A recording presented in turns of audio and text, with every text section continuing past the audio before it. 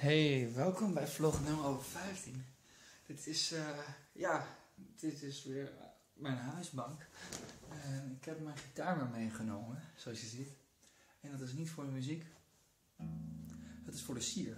Want ik vind het eens een beetje lelijk, zeg maar, dat je zo'n stopcontact erachter ziet. Maar goed, dat is zij. ik uh, heb gisteren bewust geen vlog geüpload. Want, uh, of vlog, wat, wat is het nou? Vlog of vlog? Nou, whatever.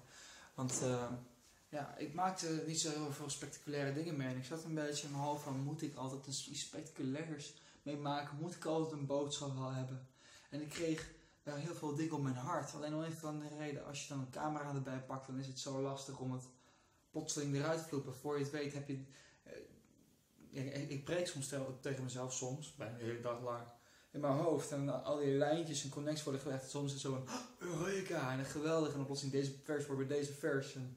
Helemaal cool. En voor ik het weet is het er weg. En dan probeer ik de camera erbij te pakken. En dan film ik iets wat eigenlijk gewoon helemaal nergens over gaat. En dus dat is een beetje het lastige van vloggen. Maar goed, uh, zo ook vandaag. Het is nu, uh, ja, het is 5 voor 12. Het is nog net geen zondag. Maar ik besloot, laat ik toch nog even een filmpje maken. En dus, uh, ja, Heilige Geest, je bent welkom hier. Dit zeg ik niet voor jullie, gewoon Heilige Geest. Jezus, geef mij de woorden. Geef mij de woorden, Jezus. Geef mij de woorden. Uw woorden. Jezus. Ja, weet je, God is mijn grootste vriend. Wow, we hadden net vanavond hadden we roomservice in een jeugdgroep hier in Arnhem. En uh, op een gegeven moment zat ik uh, voor iemand te bidden. Alleen ik werd zo hard aangeraakt door Gods geest. Ik kreeg zo van die schokken van zijn kracht door mijn lichaam heen. En uh, ja, dat was zo mooi. Ik, ik, kon niet meer mijn hand op diegene leggen. Ik had mijn hand op diegene, uh, diegene schouder. En ik, ik moest echt zelf even gaan zitten. En ik voelde gewoon alsof er iemand met een wattenstaaf in mijn oor zat te peuteren. Um, het was heel gek. Het was in de geest. Alleen het voelde bijna in het vlees, zeg maar zo. Alsof iemand echt met een wattenstaaf in mijn oor zat te peuteren. En toen zag ik, kreeg ik een visioen van dat God de Vader met een wattenstaaf in mijn oor zat en dat hij smurrie eruit haalde in de geest. En dat, dat mijn geestelijke oren daardoor open gingen. En toen plotseling hoorde ik zijn stem zo duidelijk en hij zei tegen mij: Daniel, ik ben je vader, maar ik ben humor. Ik, ik hou van je. En hij begon gewoon leven op me uit te spreken. En het toffe was dat hij gewoon zei: Ik ben humor. En hij begon te lachen en ik begon ook te lachen. En ik werd zo vervuld van die goedheid. Echt niet normaal. En toen mocht ik ook nog wat profiteren over andere mensen. En leven uitspreken. En er waren echt de raakste dingen. En wauw, gewoon alsof er een blokkade voor mijn geestelijke oren zat. En God heeft het weggehaald. En dus, dit is een beetje mijn, mijn relatie met Jezus. Ik realiseer me gewoon steeds meer dat Hij zo goed is. Wauw. Weet je, en je hoeft niet te evangeliseren voordat Hij iets voor je gaat doen. Vandaag heb ik een post geschreven over het nieuwe verbond en over het oude verbond. Ik zou zeggen, kijk hem terug. Zet op mijn tijdlijn, een heel lang ding. Uh, lees het en check of het, uh, ja, of het klikt in je hart. In je hart, je kan met je hoofd kan je alles wegredeneren, maar uiteindelijk met je hart ga je geloven of het klopt of niet. Dus check het. Maar in de post um, schrijf ik en geef ik heel duidelijk onderwijs over dat er een verschil is tussen het oude verbond en het nieuwe verbond. en dat is er, jongens. Dat is er. Het oude verbond was slechts een schaduw. Had niets van de substantie. Niets van de substantie. Wat zei Jezus? De uh, Johannes de Doper is de grootste van de wet en de profeet. Maar hij is het kleinste. Hij is nog kleiner dan de kleinste in het koninkrijk. Dat betekent dus dat wij iets in het koninkrijk hebben. Wij iets wat de wet en de profeten niet konden halen. In Johannes Evangelie staat er geschreven de wet en de profeten zijn verkondigd tot aan Johannes, maar nu wordt het koninkrijk van God verkondigd. Weet je, dat koninkrijk is er. Het koninkrijk is in jou en het is in mij. Weet je, het koninkrijk is de substantie van het nieuwe verbond. Jezus heeft aan het kruis een nieuw verbond gegeven. En dat is tot voltooiing gekomen. In 70 jaar van sommige mensen mag ik het niet zeggen, maar het koninkrijk is toen gekomen. Ja, misschien kan je er een label op plakken van Kingdom Now, maar weet je, ik hou niet van labels. Wat heeft Jezus gedaan. Jezus kwam om het koninkrijk te brengen. Is het hem gelukt? Of moet hij soms een paar duizend jaar later nog een keer terugkomen om het helemaal te doen? Jezus kwam om de werken van de niet te doen. Is het hem gelukt of moet hij later nog een keer terugkomen? Wat heeft Jezus zelf erover gezegd? Johannes 12. Nu wordt de overheid van deze wereld wordt vernietigd. Hebreeën 2 zegt: De dood en de duivel zijn niet verslagen, maar zijn vernietigd.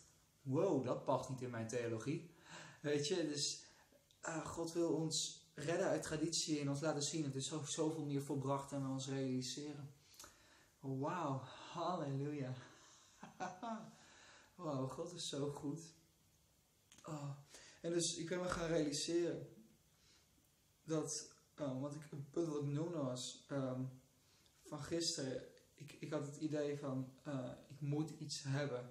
En ik moet iets doen voor God. Of ik moet dit, zus en zo. En het vloggen werd niet meer een enjoyment. Werd niet meer een geluk of iets leuks. Maar het werd een, must. Het werd, het werd van je moet het doen. En dus ik kreeg die gedachten in mijn hoofd. En voordat ik het wist, zat ik vast erin. En God heeft het dus vanavond mij ervan bevrijd. En ik stroom weer over van die vreugde. Halleluja. En dus, wow. Shabadabadaba. En volgens sommige mensen mag ik gewoon niet tongen spreken. Naar pech. Oh, yes, Jezus. Dank je, Jezus. Wauw. Ja, het, het, oude verbond, weet je. Het oude verbond. Dat hield eigenlijk in. Als wij ons aan de regels zouden, dan worden we gezegend. Als we ons niet aan alle regels zouden, dan zijn we vervloekt. Deuteronomium 27, Deuteronomium 28. Weet je, ja, ja mij. Wij hebben Gods genade nodig. Waarom? Omdat we ons niet houden aan alle regeltjes. Daarom kunnen we ons beter gewoon al die regeltjes vergeten. En ons focussen op de genade van God die ons een nieuw hart geeft en ons leert om nee te zeggen tegen zonde. Wat was het oude verbond? Als God had een verbond gesloten met Israël.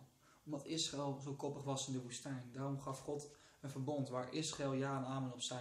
Israël zei in hun arrogantie en trots. Wij zullen alles doen. Zullen alles doen wat u ons opdraagt. Yes.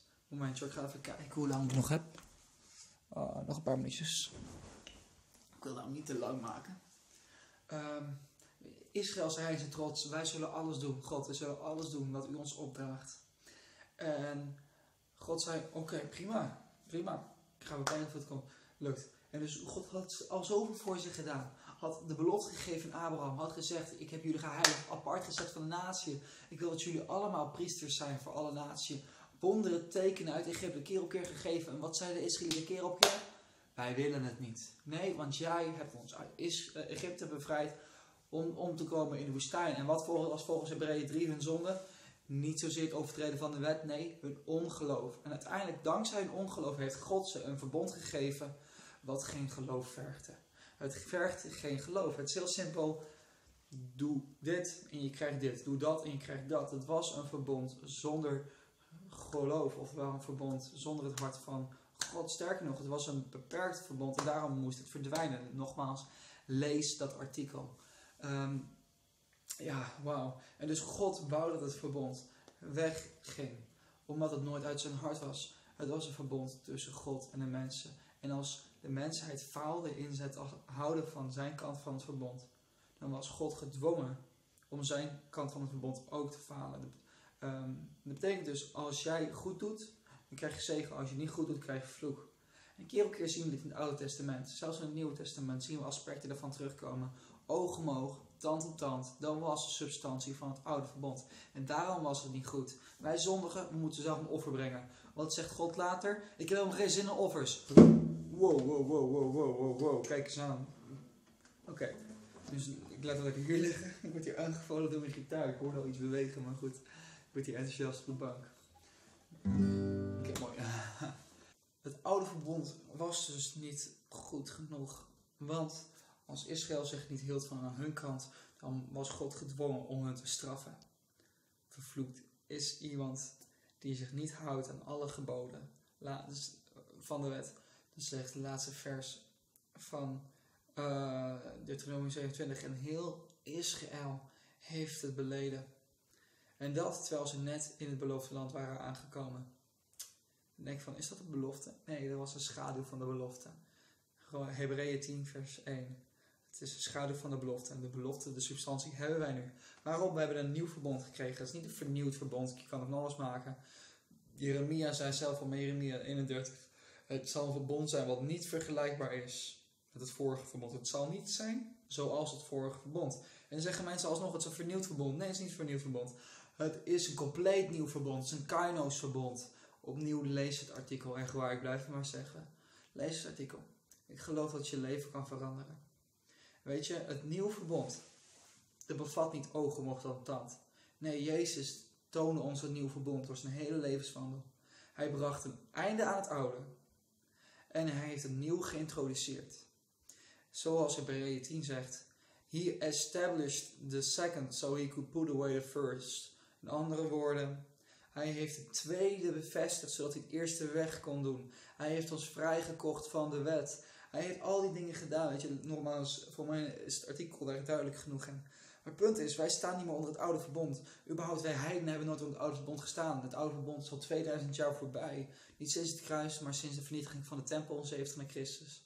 Toen Aarons priesterschap werd vervangen door het priesterschap van Melchizedek in de hemel. Nu zijn wij een koninklijk priesterschap hier op aarde. God heeft maar één verbond en dat is het nieuwe verbond, het eeuwige verbond. Halleluja, het is een Olam verbond, een eeuwig verbond. Bijvoorbeeld Jesaja 54 gaat erover, over dat Gods eeuwverbond, Gods vredeverbond altijd bij ons blijft. En in het verbond, hoeveel fouten we ook maken, het maakt niks meer uit. Al onze zonden zijn vergeven. Verleden, hele toekomst. Klinkt radicaal niet? Dus voor sommige mensen is dit alleen al de reden dat ze lekker willen gaan zondigen. hey, als het toch niet meer uitmaakt, als ik toch al vergeven ben, YOLO, lekker zondigen. Nou, dan ken je God niet. Waarom? Omdat God vrij maakt. Waar de geest van de Heer is, daar is vrijheid. En dus, weet je, sommige mensen reageren net zo op de genadeboodschap. Alleen het punt is, de meeste mensen die die genadeboodschap horen, die realiseren zich, ik wil niet meer zondigen. Ik ben niet meer zonde. Ik wil vrijkomen. En daarom zegt Titus 2 vers 11, Paulus zei het, hè. Het is de genade van God die ons leert om nee te zeggen tegen, uh, tegen zonde. Het is de genade van God die ons leert om nee te zeggen tegen de zonde. Het is niet de wet. Waar de wet is, daar neemt de zonde toe. Romeinen 5, vers 20. Romeinen 7, vers 4. En dus waar de wet is, neemt de zonde toe, maar waar de genade is, daar neemt de zonde af. Wauw, zie je dat? Het is wet, eh, vermeerdert zonde, genade, vermindert zonde. Die twee zijn echt in strijd met elkaar. En daarom, de wet was slechts een schaduw, maar was in vele mate was het een antibeeld, een antitype van de ware substantie, de genade Gods. En dus, eh, zo weinig mensen pakken dit helaas. Want ze, denken dat God, als je vandaag een dag zondigt, dat je meteen weer vergeven moet vragen, anders ben je niet vergeven. Je moet meteen weer beleiden, anders ben je niet beleden. En plotseling ligt het er niet meer aan wat God heeft gedaan, niet meer aan wat Hij heeft volbracht, eens en voor altijd iedereen geheiligd. Hoppa. Nee, het, het plotseling ligt eraan weer dat wij het ontvangen, dat wij het accepteren, dat wij er iets mee doen, dat wij ah, ja en amen zeggen, dat wij het wel goed vragen en plotseling denken van, we moeten het wel beleiden, maar, maar sommige dingen weet ik gewoon niet meer of ik het zondig heb gedaan en is het wel zondig. Ja God, ik beleid ook de zonde die ik ben vergeten. Hoe kan je iets wat je vergeten bent beleiden? Wij hebben het concept gekregen dat als je niet beleidt, dat je niet vergeven bent. Omdat we 1 Johannes 1 vers 9 uit de context lezen. En we realiseren niet dat het niet aan ons is geschreven, maar aan ongelovige mensen. Die nog niet het vredesverbond hadden ontvangen. Over context wil ik gesproken. En dus, dit brandt in mijn hart, jongens. Dit brandt in mijn hart. Wij moeten het nieuwe verbond gaan pakken ten volle. Wij zijn vergeven. Eens en voor altijd.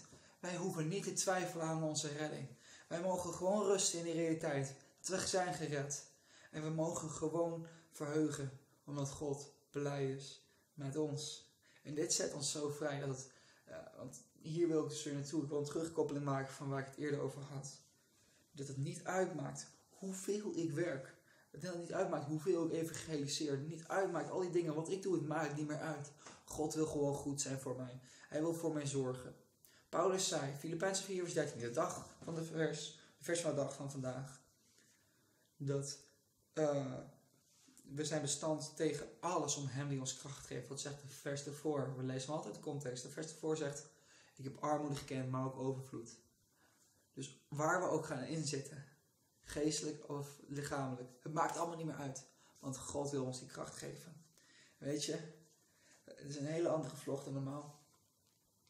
Maar we mogen die genade gaan pakken. En weet je, Jesaja 54.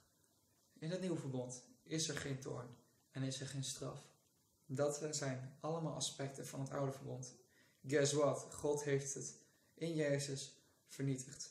Hebreeën 8 vers 13. Het was nog niet vernietigd aan het kruis. Het was verouderd bestempeld, maar nog niet vernietigd. Maar het was de teloorgang, de ondergang, de vernietiging, de verdwijning nabij. Hebreeën 8 vers 13. Vlak geschreven voor de vernietiging van de tempel in Jeruzalem. Denk je nou echt dat dat geen significante rol speelde in het evangelie? Denk je nou echt dat de vernietiging van de tempel geen belangrijk aspect was in het verbrachte werk? Het vernietigen van iets wat scheiding met God symboliseerde, voorhangs en al die dingen. Sterker nog, geschiedschrijvers hebben gezegd, en ooggetuigen verslagen van die tijd, hebben gezegd dat 3,5 jaar voor de val van de tempel en voor de val van Jeruzalem was er een luide stem. Er was een aardbeving en een luide stem. En de luide stem des Heren zei, laten wij hier wegtrekken. En toen is de Shekinah-glorie uit de tempel weggegaan. Waarom? Omdat de Shekinah-glorie in jou en in mij wil leven. Wij zijn zijn tempel. Weet je, het is volbracht. Toorn is over. Er is alleen maar genade. Dat klinkt als radicale woorden, maar het is de waarheid. Durf jij te ontvangen? Perfecte liefde die alle angst uitdrijft. Durf jij te geloven? 1 Korinthe 13, vers 4, vers 5. Dat God geen aanstoot neemt. Dat God niet bitter is, nooit bitter is. Dat God het kwade niet toerekent. Dat is het nieuwe verbond. En het oude verbond rekent het kwade wel toe. Is God veranderd? Nee. Wij mensen hadden een verkeerd verbond met God besloten. God toonde continu genade, maar de Israëlieten wouden niet. Ze zeiden, geef ons een ander verbond. Dat hebben ze gekregen. En ze hebben het gezien ook. Maar het oude verbond is voorbij. Het nieuwe verbond is dat ogenmerk dan de tante niet meer. Nee, Jezus hangt aan het kruis en toont ons de ware kern van het nieuwe verbond. Spijkers door de handen en de voeten. En hij zegt, Vader vergeef hem, want ze weten niet wat ze doen. Jezus zei, heb je mij gezien, heb je de Vader gezien. Jezus en de Vader waren één aan het kruis. En de Vader zei, ik vergeef ze. De Vader heeft ze allemaal vergeven, alle zonden. Heden, verleden, toekomst en rekent hun zonde niet meer aan. 2 Korinther 5 vers 19. En dat is het goede nieuws, wat wij mogen verkondigen aan de wereld. En bijna alle kerkvaders waren met mij eens met deze woorden. Alleen traditie heeft het overgenomen, de katholieke kerk heeft het verdraaid en wij, zijn, hebben, wij hebben van een goed nieuws hebben wij een slecht nieuws gemaakt. Slecht nieuws is je gaat naar de hel. Het goede nieuws is, je moet je bekeren en als je je goed bekeert, je gaat elke dag naar de kerk, eh, tiende, dit en dit en dit en plotseling ligt eraan wat wij doen. En religie is alles wat wij moeten doen. En genade is alles wat hij heeft gedaan. En zelfs jouw geloof wat jou behoudt, is Gods genade. Is dat niet cool? Weet je, ik laat het hier gewoon bij. Hopelijk heb ik niet te snel gesproken. En uh, dikke zegen, jongens. Halleluja. Yes.